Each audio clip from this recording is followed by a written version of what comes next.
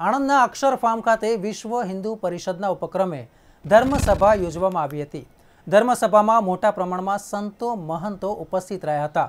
રામ મંદિરના નિર્માણ માટે સંસદોને આવેદનપત્ર આપીને રામ મંદિરના નિર્માણ માટે કેન્દ્ર સરકાર તાકીદે સંસદમાં કાયદો બનાવે તેવી માંગ કરવામાં આવી હતી. આણંદ શહેરમાં ટાઉન હોલ ખાતેથી જય શ્રીરામના નારા લગાવાતા બાઇક રેલી કાઢવામાં આવી હતી.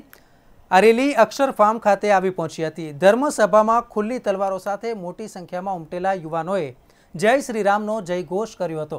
મંચ પર ઉપસ્થિત સંતો મહંતો દ્વારા સાંસદ દિલીપભાઈ પટેલ અને લાલસિંહ વડોદિયાને રામ મંદિર માટે કેન્દ્રની સરકાર તાકીદે સંસદમાં રામ મંદિર નિર્માણ માટેનો કાયદો બનાવે તેવી માંગ કરવામાં આવી હતી. અખિલ ભારતીય સંત સમિતિ ને વિશ્વ હિન્દુ પરિષદ એમાં ત્રણ ઠરાવ પસાર કરવામાં આવ્યા. જેમાંનો પહેલો સાધુ સંતો દ્વારા રાષ્ટ્રપતિ સિંહને આવેદનપત્ર આપવામાં આવે.